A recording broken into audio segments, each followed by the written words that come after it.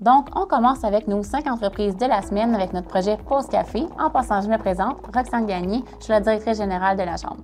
Donc, la première est Fondation du Centre hospitalier de Granby. Faire une différence, ça commence tout près de nous. C'est la raison là, pour donner à la Fondation du Centre hospitalier de Granby. Avec vos dons, ils aident là, concrètement les gens de notre région en contribuant à leur offrir euh, des soins là, de qualité, plus efficaces et plus humains. Par son engagement envers la communauté, la Fondation mobilise les gens à l'importance de soutenir le CIUS de l'Estrichu, RLS de la Haute-Yamaska, afin qu'ils puissent développer et offrir des services de proximité de qualité à la hauteur des besoins actuels et futurs. Accès à des infrastructures euh, vastes et modernes, acquisition d'équipements médicaux, amélioration de la qualité de vie des usagers de tous âges. Mise en place d'actions en fait le concrète en santé mentale, soutenir la fondation du Centre hospitalier de Granby, c'est bien plus qu'appuyer un hôpital, c'est épauler la santé des familles et des gens d'ici à travers 14 installations dans la Haute-Yamaska.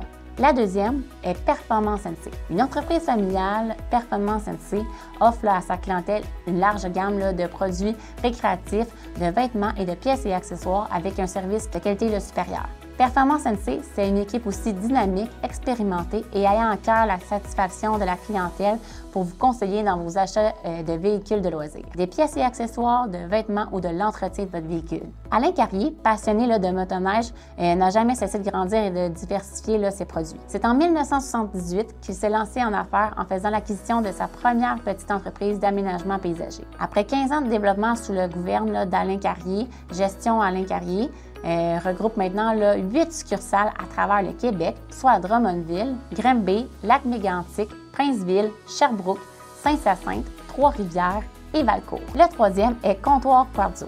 Situé au 855 rue Bernard à Grimby, Comptoir Quarzo appartient à la propriétaire Brigitte Laporte. Il compte plus de 13 employés.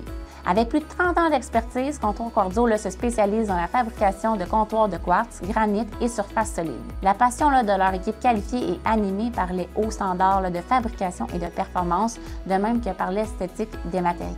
Leur service à la clientèle est sans contredit une de leurs plus grandes forces. Chez eux, tous les projets sont importants et méritent d'être réalisés avec le plus grand soin. Le vôtre deviendra le leur et ils s'efforceront de combler vos attentes afin de satisfaire vos exigences. Avec Quarzo, offrez-vous le comptoir dont vous avez toujours rêvé.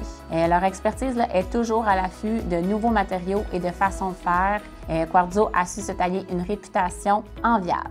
La quatrième est Girardo Ménard. Ils accueillent les familles endeuillées et leurs proches euh, depuis plus de 100 ans. C'est dire qu'ils comprennent depuis longtemps quand de tels moments-là, euh, c'est d'un professionnalisme bienveillant, discret et respectueux dont vous avez le plus besoin. Aussi, leur priorité là, est de vous accompagner sur le plan administratif et humain, en vous guidant là, vers les ressources, les produits et les services funéraires euh, les mieux adaptés pour vous. La famille Girardeau commence ses activités dans le domaine des services funéraires à Roxton Falls en 1910. Fondée par Arthur Puis successivement remis aux mains de Paul Girardeau et Jacques Girardeau, le complexe funéraire est aujourd'hui administré par la fille aînée de ce dernier, Julie Girardeau. À titre de propriétaire du complexe, Julie le représente la quatrième génération de cette famille, empathique, dédiée et soucieuse de vous soutenir avec respect et professionnalisme. La cinquième et non la moins, Groupe Brière. Fondé en 1999 par Éric Brière, euh, depuis maintenant plus de deux décennies, l'entreprise se démarre principalement par son offre de services euh, des plus complètes par les secteurs industriels, commercial, agroalimentaire et biotechnologique. Forte de son succès auprès de sa clientèle,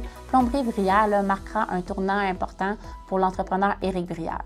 L'entreprise sera à l'origine d'une série d'acquisitions progressives conduisant à la création du groupe Brière International plusieurs années plus tard. Œuvrant principalement auprès des industries agroalimentaires, GBI est chef de file en matière d'innovation et de recherche et développement. Le groupe assure notamment le service auprès de l'ensemble des usines agropures au Québec, de la rive sud de Montréal au centre du Québec, en passant par les Laurentides et la Montérégie. Mais le groupe est également reconnu et sollicité à travers le Canada. C'est ce qui conclut nos cinq entreprises de la semaine. Un gros merci de nous avoir écoutés cette semaine. Si vous aussi vous aimeriez ça, là, venez présenter votre entreprise avec moi pendant votre pause café, n'hésitez pas à contacter Edgar à la chambre. Ça va nous faire plaisir euh, de prendre notre café ensemble. Bonne semaine!